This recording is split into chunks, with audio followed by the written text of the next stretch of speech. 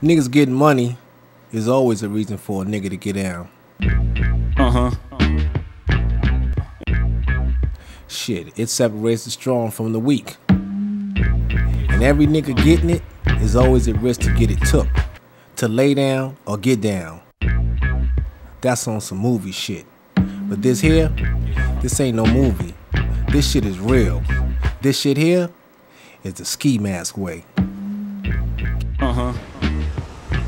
Black Hand Entertainment, Roc-A-Fella Records, in association with the streets, the Black Gangster, in conjunction with everything official. Yeah.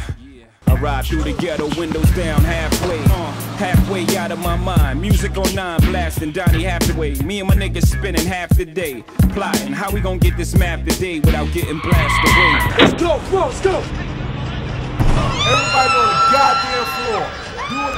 Shut the fuck up. Do as I say nobody gets hurt. His name was Chaz Williams. The year was 76. His forte was bank robbery, and this was one of the many banks he'd robbed. And it's because of these robberies he'd received status the status of being a wanted man. The pictures look straight out of a Hollywood movie, but the terrifying bank holdup was very real as three masked robbers stormed the bank with weapons drawn, jumping on counters, pointing guns at security guards inside. They fled in this maroon Oldsmobile that police found 20 blocks away afterward. It was apparently stolen. Investigators say two men held up a Charter One bank on North Harlem and Harwood Heights. They made off with cash. Chaz Slim Williams, the notorious bank robber who robbed as regular as news footage shown on everyday TV. The creator of Black Hand Entertainment, whose hand literally reached out to everyone from 50 Cent to Jay Z to Foxy Brown. But that was the part of life that became entertainment. Before that was the real. The real 50 be rapping about. The slick shit Jay be saying. All that shit was rap. And as good as it sold, nothing could really outsell the true feeling, the description of what it was really like. I think it's just a, a, like an adrenaline rush. I mean, you know, you just be focused on what you got, what you're trying to do. You know what I mean? And uh, it's not, it's not like a, you know, it's not like what you get a feeling. It's not like something that you're doing is for fun or, you know, like to describe it as a feeling of that, that kind of some kind of emotion you get. You know, it's like anything else. It's, it's about business, and you know, you're going to take care of your business, and you're focused on what you're going to do. Um, it's, it's a life and death situation, and anything dealing with life and death situation, it sort of has an adrenaline rush, a certain amount of your adrenaline pumps up, and um, you know, you just deal with what you're dealing with. In this country, we have a look today at the resurgence of one of the most old fashioned ways for criminals to steal money.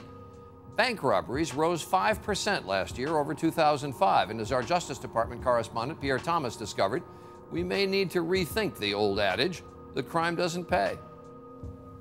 At least 23 banks are robbed somewhere in the U.S. every day. As soon as I heard the gunshot and I turned around and looked at him, I was fearing for my own life. The robbers are overwhelmingly men, often showing up in costume, masks, wigs, even in drag. These suspects posed as police to get inside this Jackson, Mississippi bank. Most bank robberies are surgically swift, over in minutes, largely because of little security. Many banks don't have armed guards or anything separating tellers from customers. The robbers are taking advantage of the relatively weak security, and it appears crime does indeed pay a lot.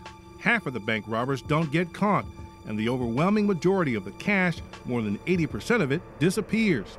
Of $352 million stolen in bank robberies from 2002 to 2006, only 58 million was recovered. According to statistics and according to Chaz, robbing banks came easy.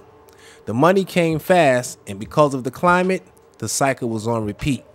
But just like a slave master's chain, soon the cycle and lifestyle would be broke, and Chaz would be in jail. Jail, for anybody, I think that prison is probably the closest thing you get to being dead. And I think that in, in, that sense, you take it as like it's a, a, process of taking you away from you know loved ones. You know, you, are taking away from everything. You know what I'm saying? And I was I was in for 15 years, um,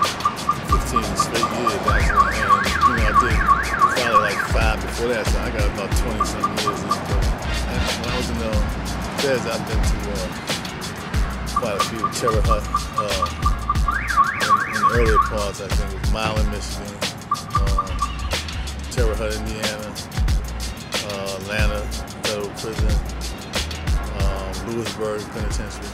For Chaz, being a federal inmate meant he'd be shuffled around as if he was a soldier on tour of the army. You know, that being all you could be shit. But before he could really be, he would first have to face how he got caught. Somebody got caught doing, you know, somewhere else, not not anything that had anything to do with me. I mean, directly anyway, but uh, the guy got arrested. And he contacted the FBI and he said he had information on me and uh, my crew. And he bargained his way out. He, uh, his way not out, but into the witness protection program. Twenty years of Chaz's life would be spent in jail. Fifteen alone based on the testimony of a snitch. And for Chaz, that only meant time was about to be in trouble because time would now have to work for him. Chaz would instill black hand principles into the free world, and there would be those who at the time would agree. 50 cents. That, that, like the 50 cent thing is really uh, like way back, back during that period of time, just before that time, that uh, I, I had co-managed him, you know, and that's like really kind of like some old news and stuff. For me, 50 Cent has always been the same guy he is today. You know, I mean, in terms of who he is, you know. He's always been, you know, I'm not, he's always been who he is. I mean, when he didn't have money, he was cocky and arrogant, and when he got money, he's cocky and arrogant. So to me, he's the same guy. You know, he's no different than what he was then. He's just a lot richer. Foxy Brown. Uh, right now, I'm working with um, Foxy Brown, Graf, and Prince. I've been in the game 14 years strong, like officially as a, you know, as a signed artist, 14. And again, if you do your homework on me, from every nigga I fucked with since I was 14 was a live gangster nigga. Like I just have a thing live gangster niggas. Like I still do VIs. I'm still up north. I'm still in the feds. Like going to see dude. Like I take care of a lot of niggas. I also knew right across the, the BQE there, there was a gangster. You know what I mean? A real live last of the, to me, last of the real true gangsters. And I, and I knew who, you know, I knew it was Chaz Williams and I knew that I wanted to be a part of whatever he was a part of. I called Chaz. I, I got Chaz number. I to, went to the hood, went to a couple live niggas. Yo, I need, a, I need Chaz, nigga Chaz now. And hit me back. I called him. So what's up, it's Fox. Who? I was like, it's Fox. Fox who? Foxy Brown. I'm like, yeah. He said, oh shit, baby girl, what's up? I'm like, what's up? I've been looking for you. Where you at? And he's like, yo, go. Let's come on, let's do it. And it was from that moment on, I've never felt like, I mean, with the entire team, like I love the entire Black Hand team. I would do anything for any one of these niggas. Like I love all of them. The love of a Foxy Brown was equal to the love of the streets for Chaz.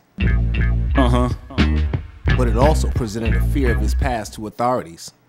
Chaz's bank robbing netted him upwards of $4 million in straight taking money. 80 or more banks, who at the time carried a minimum of 50 G's, also made his $4 million takings modest. In a time where niggas is hitting banks whose drawers no longer house real money, but dye packs and alarms, monitored by police that base 35,000, I'd say those numbers were quite impressive. However, the 15 years spent in jail made all the money useless and took him in a direction few could come from. The direction from which he came presented a man free of fear and ready to take on a title that Jay Z made historic. Chaz Williams, the Black, Gangster. Jigga, over. Roll with me now.